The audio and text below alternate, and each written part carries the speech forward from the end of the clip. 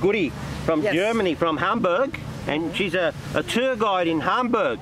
Yes, I am. Wow, that's cool, Goody. Now, what do you think of um, uh, the Philippines? From Uh, the Philippines interests me very much. I've been here for the first time. Yeah. I've spent three weeks together with uh, a Philippine family yes, of my German friend.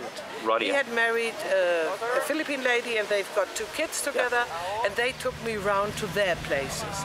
I've been to the fish farms, I've been to the to the jungle, I've been Yep. to hot spots. Wow. I, I've been to the to the uh, trees where I could pick mangoes, where I could pick bananas or chili peppers. Wow. And I've really seen the nature and the original life. Yep. This here in Boracay is not the original life. I can find, can find this in, in America, in Germany, everywhere, and I hate it. But I had to come to know it because everybody said, you must see Boracay. Yeah. And now I have seen it one day, and that was enough.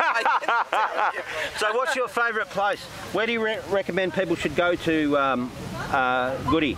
I have told you already. And Yeah. If I tell it now, you will tell somebody, and Ah. then it's not so calm anymore.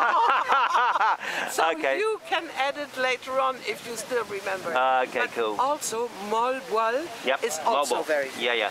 On Negros, Negros Island? on Ne- Negros, yes. Yeah, yeah. And Negros is a is a very original island. Yeah. And I've been to these families who only have three little rooms Yeah. and they sleep there with 14 people. Wow. They gave us their bedroom, the Yeah. only room with aircon. Yeah. And we slept there with four on two mattresses. Wow.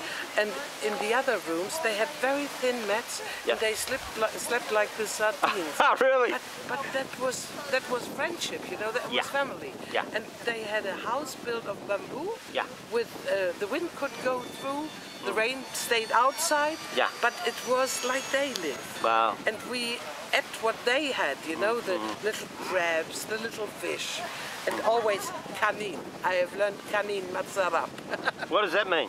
uh, uh, rice tastes good. cool. So in in summary, it's worthwhile coming all the all the way here, right, to the Philippines. You reckon for a holiday? Yes, but you need some weeks. You can't only be here for one week. No. But then you can only go to, to Boracay. Then you have the sun no matter where it is. And diving. Mm. So yeah, if you want that, that is okay here. So how, how long do you think is the minimum you should come to the Philippines? Uh, two weeks at least. Two weeks, And yeah. the best thing is to know people who are citizens somewhere. Yeah, Okay, cool. If you are a tourist, you would never